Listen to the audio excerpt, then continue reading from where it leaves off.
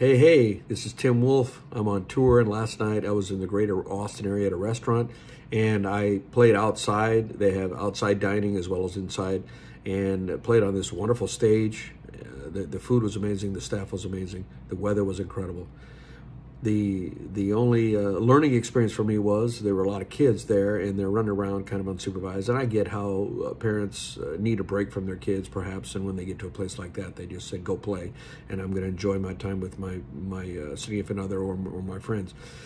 So there were a couple of eight-year-old girls who was uh, at the table next to me or really close to the stage it was a metallic table.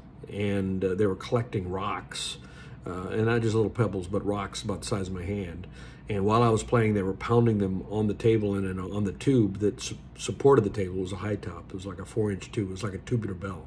And when you hammer on it with a rock, it, it's very loud.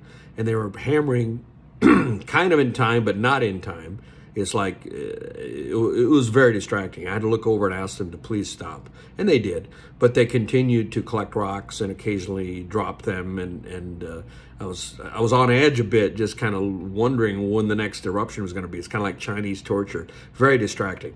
Uh, my goal is to be like Stevie Ray Vaughan, who's one of my one of my favorite artists. He uh, played the Monterey Jazz Festival in in France uh, before anyone knew who he was.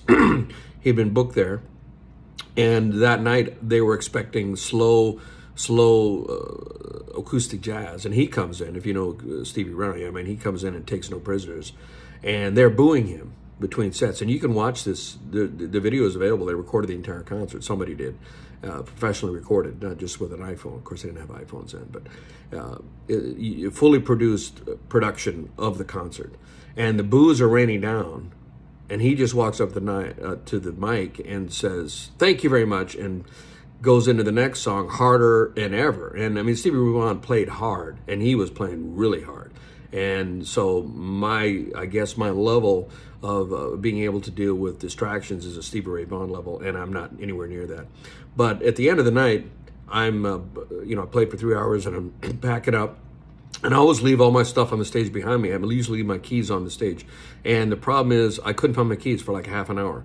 I'm looking, I'm desperate, and uh, wondering where did my keys go? And emptying out every bag. Did I drop them in a bag? Finally, I go to the front desk and I said, "Anybody turning keys?" He says, "Yeah." One of the one of the little kids was running around and collecting all kinds of stuff, purses and keys and stuff, and we have it here. We've had it since five o'clock, which is about the time I arrived. And I'm like.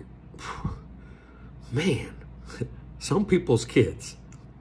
Anyway, another learning experience on the road.